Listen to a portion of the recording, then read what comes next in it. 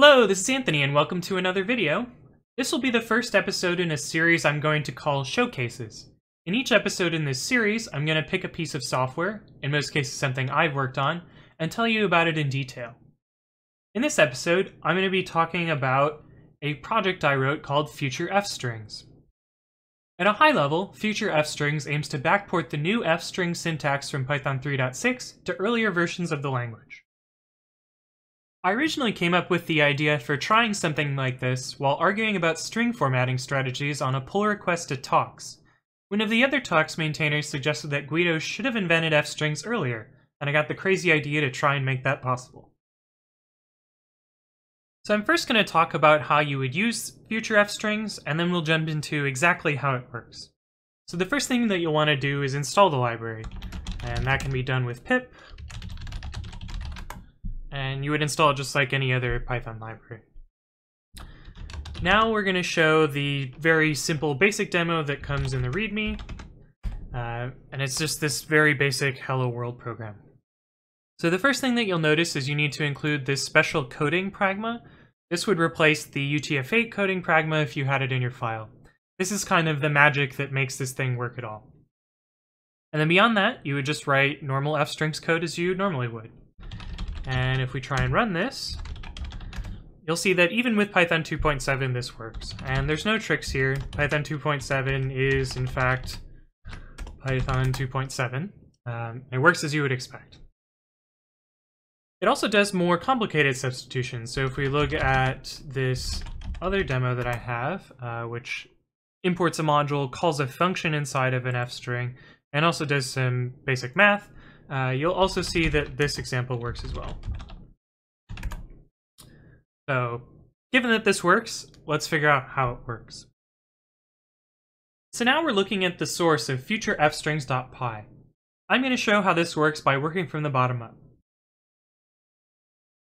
The first thing that you'll see here is a main function. This is what powers the future fstring show command. The command line interface is useful for debugging the source transformation that we'll get to in a bit. Up from that, you'll see the implementation of the codec API. A codec is an interface which provides a bunch of helpers for taking bytes and converting them to text. Some common codecs that you've probably used are UTF-8 and ASCII. The Python standard library also gives you facilities for writing custom codecs. The API for writing a custom codec is to write a function which is passed the codec name and either returns the codec info or none.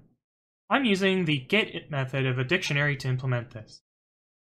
Notice that the encoding portions of my codec reuse the UTF-8 implementation, and the only interesting bits of my codec are those that decode.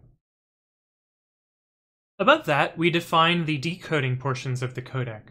Note that we're really only doing any modifications if the interpreter itself doesn't already support f-strings natively. There's three portions of the codec API that do decoding.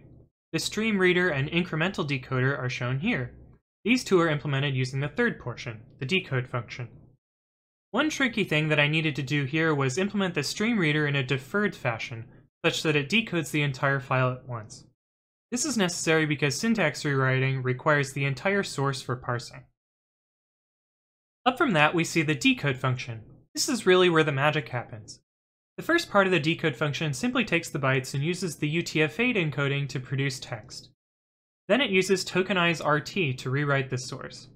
Tokenize-rt is a library that I wrote to do round-trip source rewriting via the tokenizer. In an implementation which does not support f-strings, an f-string will appear as a name token containing f, immediately followed by a string token. If the encoding finds this pattern, it will replace these two tokens with a rewritten token. The token rewriting is done inside make fstring. Make fstring basically parses the fstring and transforms that into a format call. Each bracketed fstring expression becomes a single positional argument in the call to dot format. Above that is a pure Python port of the fstring parser from Python 3.6. If you want to see the C implementation, it sits in python slash ast.c in the CPython source tree. It's basically a simple state machine. Putting that all together, Future fstring provides a codec which takes UTF-8 bytes, decodes them to text, and then rewrites any fstring syntax into backward compatible string format calls. Next we'll look at how this encoding gets registered during interpreter startup. In order to understand how we get our encoding registered, we need to dive into interpreter startup. The interpreter startup involves a lot of stuff, but we're going to primarily focus on one of the last things it does, which is import the site module. One of the side effects of importing the site module is that site.addSiteDir will be called for each import route. The import route that we really care about is the import route for site packages. This is the folder in which pip will install third-party libraries, such as future fstrings. Along with adding the directory to sys.path, addSiteDir will also find all files in that directory which end with .pth and perform some actions based on their contents.